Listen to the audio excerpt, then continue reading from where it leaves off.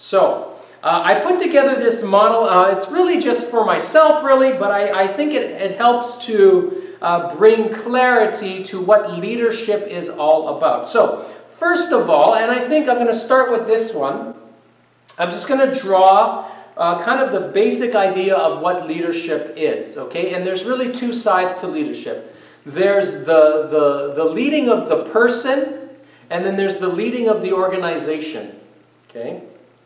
And, and then the programs of the organization, the strategic plans and the strategic visions, and, and the, the constitutions, the policies and bylaws, okay? So that's program-based.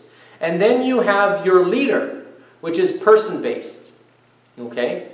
Uh, and then that's where you have your leader needs to, books like, um, you know, where uh, Kouzes and Posner talk about a leader needs to be honest. He needs to, he needs to uh, kind of uh, um, take the path or, or lead the path, lead by example. You have all those characteristics that leaders should have. Okay? And so that's person-based. Okay, so the first, the first way that I look at this is that um, in most organizations, the people are involved in your organization many times for their own purposes and their own reasons, and the reasons and the purposes of the organization don't necessarily align to the purposes of the individuals in it, okay? Okay, so let me give you an example. Okay, so this is the people in your organization, and this is their purposes, okay? The stars are, are kind of what, what their hopes and dreams are, what they value, okay? And then, so you have the people within the organization, and then you have, uh, you have the, uh, the programs, I'm going to put in blue. So the programs of the organization are like your constitution, your bylaws and, and uh, your processes, your systems of governance, okay? So the, the, the programs in your organization. And the programs of your organization are often, right, they're, they're, they're often built to try and keep people within these, within these borders, okay?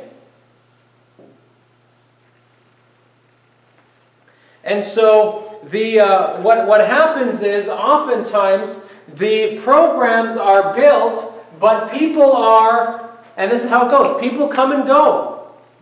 People join your organization for a little while and then leave. They join and then leave. And they join and then leave, right?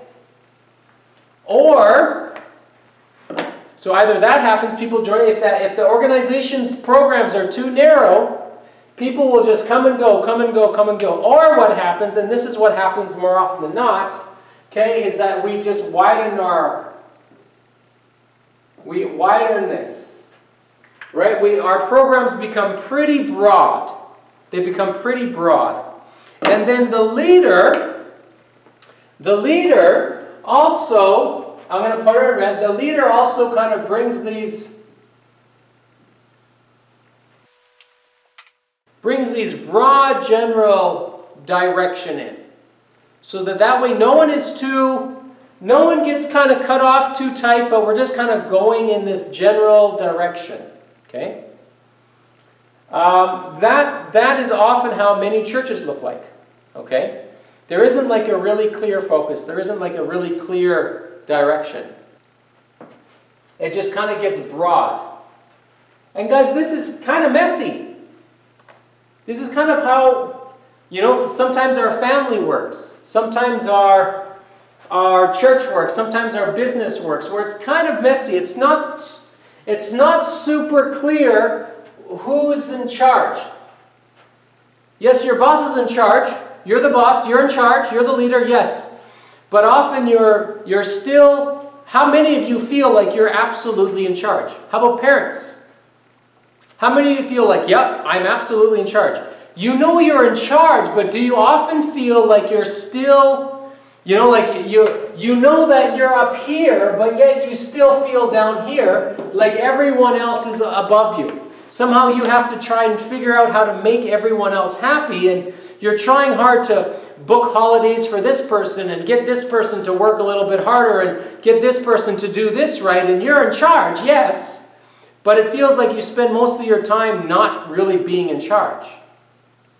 How, how, how about you, mom? Mom's up there. Right? You're in charge, right?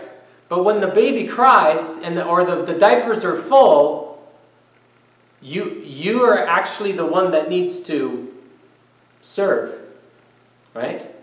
How about you, pastor or elder? Do you feel like you're in charge and you know exactly where the church is going and you want everyone in your church to, to spiritually mature and to become those that go out and share the gospel and, and disciple others who spiritually mature, who go out and share the gospel and you just, you're just, yep, I know what I wanted to do and this is what it's going to do. How about you, boss? Right? The boss has to please the customer, but then he also seems like he has to try and please all his coworkers and who's in charge? Right? It's sometimes it's pretty messy. Okay, so then the second uh, way is that um, the second way to look at it is that we're all um, kind of leading, but there's always a couple voices, right? Um, and, and, and, and, there's always a kind of a, a, a group that forms, and the programs and the uh, and the leadership of of uh, the, the the programs. What the programs end up doing is that they end up kind of steering towards the way that the bigger group wants it. Maybe not the bigger group, maybe the loudest group, right?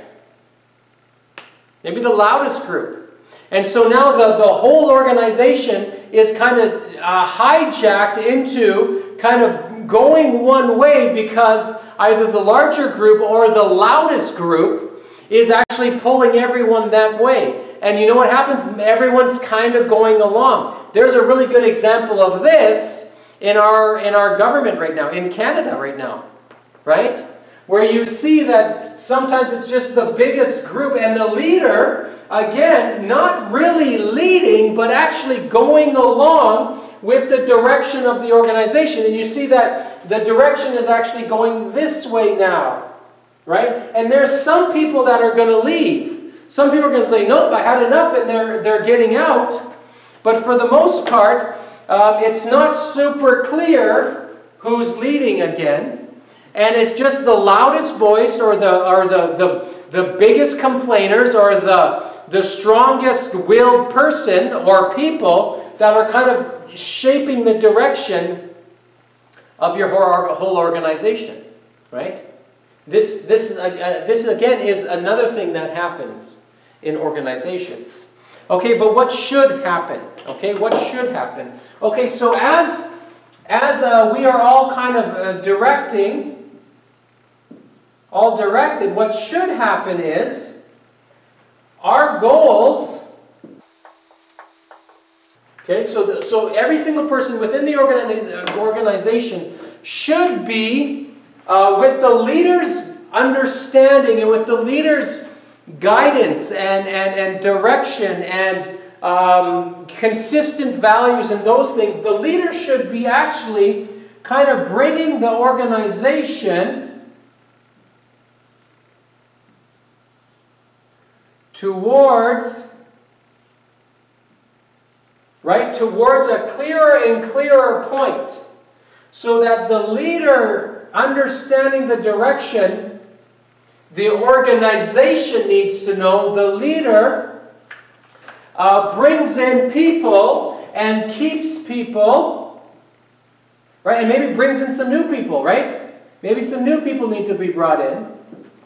Leading that organization by his consistent, repetitive, clear communication, pointing them back to the main purpose. Now, this here, of course, is vision right? Mission, purpose, right?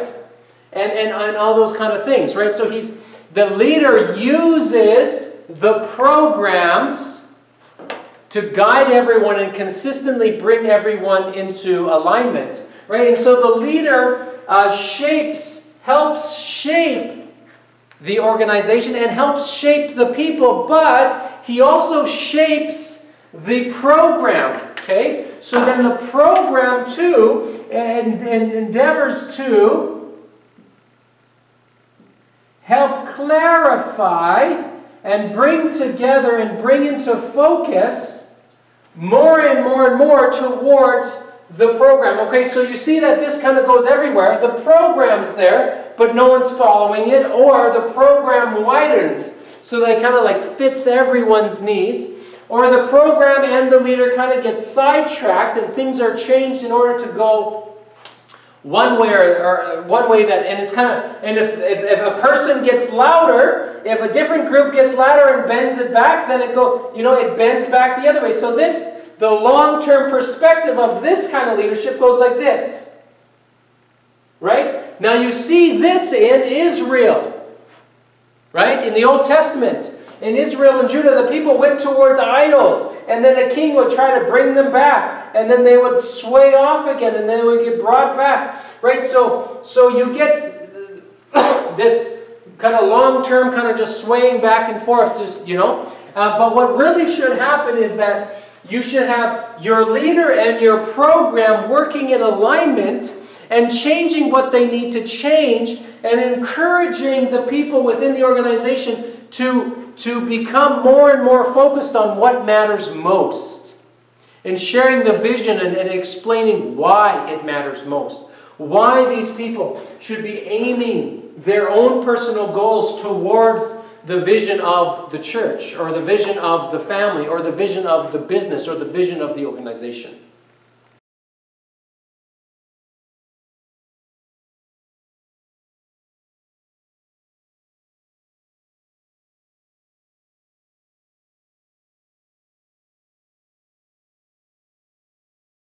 Now, what if, guys, just here, what if, what if someone's goals don't align to the main focus of the organization? Hey, that's okay.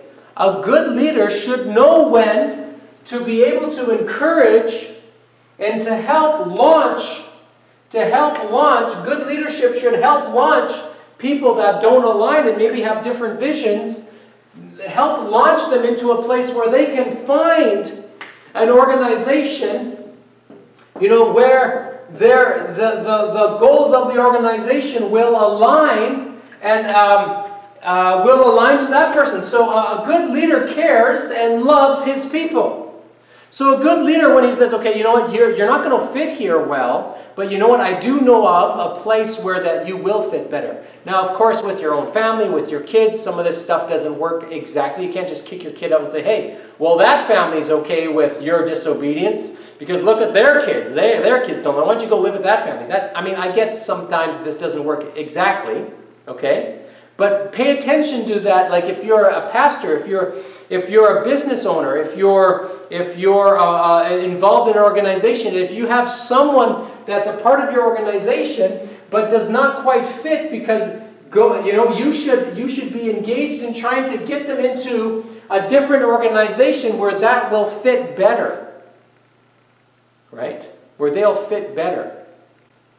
Uh, if you're a, a business um, i mean that's a part of serving. Remember we did the ladder right remember we did the ladder thing right and we said it's not equality Right? It's not equality that Jesus came down here and, and, and he launched us up here. Remember we did that? So you're serving your people. So as a Christian leader, you, you know what you think, well, this person doesn't fit in my church.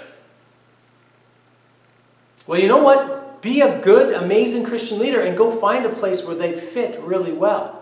I said I would talk about the four pillars. So a good leader um, leads his organization uh, with clear and, and, and consistent communication, but he also shapes his programs to align to the direction and uh, that he is aiming the organization. And it's not necessarily just a he, it can be a them, like a mom and dad. It can be, uh, you know, a board, of five or ten people on a board, right? But I'm just saying the leader, or the leadership, okay? So view it as that.